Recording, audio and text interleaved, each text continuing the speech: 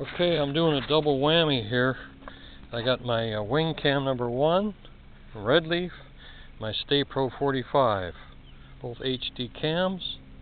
And I'm showing you my latest build. It's a airplane glider, but it's powered with a Turnigy D 3536 slash 5 at 1450 kilovolts, a 2650 LiPo battery, a 5.8 gigahertz Boss Cam video transmitter and receiver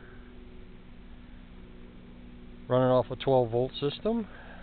I got a orange receiver with a uh, MT3329K GPS on the ArduPilot. This is set up for the latest 1.66 ArduPlane.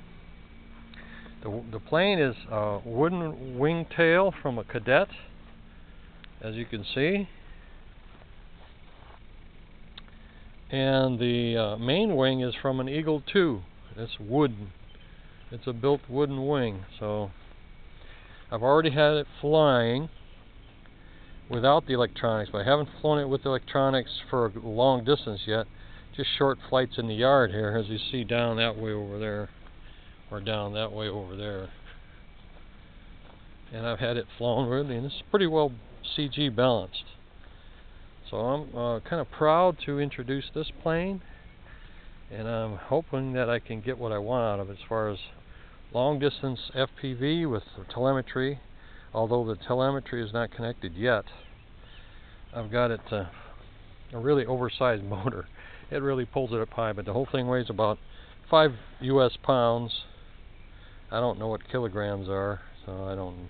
It's got a 50 to 70. Uh, it's a 70 to 80 amp Hobby King uh, ESC speed controller, and uh, I may put a 5,000 milliamp battery in it. I think my slot it'll fit in there. And as you can see, I got a warped tail right now. It's warped in the car. I'm going to try to fix that with some hot glue. Hot glue right now. So that's what I've got going for my latest. I call it White Plane. It's dialed in my uh, Spectrum 7 as White Plane. And I'm just walking away from it. It's a big plane, as you see next to the bicycle over there, or the van. I stuff it in the van too. It's got a good size to it.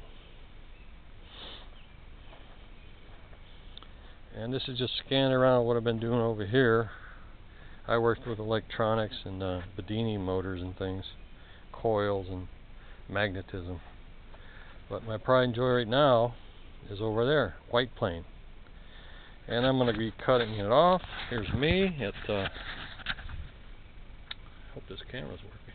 Yeah.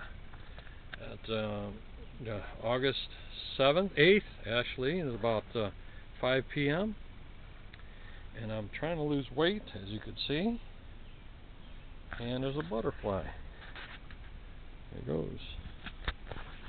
And each camera have a little different video view but uh, I am highly hopeful that I can get a lot out of this plane here and make it last a long time. I know it's paper and foam but I got to do some gentle landings.